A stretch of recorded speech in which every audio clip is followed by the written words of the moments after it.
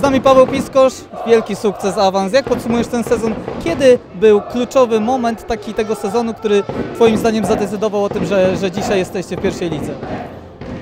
A, Kluczowy moment to był cały sezon, bo ciężko pracowaliśmy, żeby to dzisiaj się spełniło, tak? Natomiast e, od początku sezonu mówiliśmy, że Rzeszów będzie twierdzą nie do zdobycia. Z tego się najbardziej cieszę, bo żadnej drużynie nie udało się wygrać w Rzeszowie. To po pierwsze primo, po drugie e, niewątpliwie na, na uwagę zasługuje przyjście Krystiana Pieszka. To też był dla nas taki moment, gdzie wy, wykrystalizował się ten skład. Jechaliśmy już praktycznie do końca tym samym składem e, i założenie, jakim było e, forma na playoffy, pokazaliśmy chyba, że tak jak miało być, tak się stało.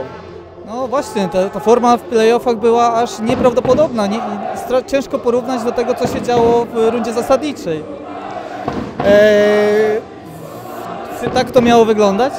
E, no tak, tak, od początku mówiłem, że proszę nas nie oceniać za mecze, gdzie, gdzie, gdzie mamy możliwość testowania różnych ustawień, różnych silników, gdzie mogliśmy to robić, jeżeli, jeżeli, jeżeli mogliśmy e, w takich meczach właśnie, e, jak w meczu z Piłą, coś potestować. Niestety nie udało się wygrać tych meczy, natomiast najważniejsze były playoffy, tak? I, i, i, i z tego jesteśmy rozliczani. W playoffach pokazaliśmy się z jak najlepszej strony. Cały zespół pojechał na bardzo wysokim poziomie. No i z tego mamy ten awans. Można powiedzieć, że skład był budowany pod kątem już pierwszej ligi, natomiast dzisiaj wiemy, że wiele nazwisk jest dostępnych na rynku. Jaki byłby wymarzony jeden transfer Pawła Piskorza przed sezonem 2024? Zostawiliśmy praktycznie całą drużynę i ja jestem z tego powodu bardzo dumny. E, Jak, jak wiemy, no niestety Rafał Karczmasz kończy wiek e, U24. Będziemy z Rafałem rozmawiali e, o jego dalszej przyszłości. Mamy też małą nie- niespodziankę dla kibiców. Nie chcę na razie wybiegać do przyszłość, bo musimy to sfinalizować. Dopóki e, nie mamy nic podpisanego, to, to, to nie mogę mówić. Natomiast wiem, że zawodnicy dzięki tej, tej opcji będą mieli bardzo dużo jazdy, możliwości dużo jazdy.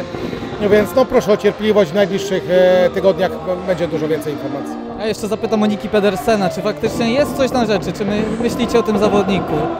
Nie wiem, czy na social mediach ostatnio widział Pan na Hetmańskiej rodzinę dzików grasującą sobie. To jedynych dzików, które obecnie widziałem. A co przyniesie nam przyszłość? Zobaczymy. Mam wrażenie, że brakuje w tej rodzinie jeszcze jednego dzika, także zobaczymy, czy coś się wydarzy. Zobaczymy. Dziękuję wszystkim kibicom za cały sezon i liczę, że tak licznie będą również w pierwszej lidze.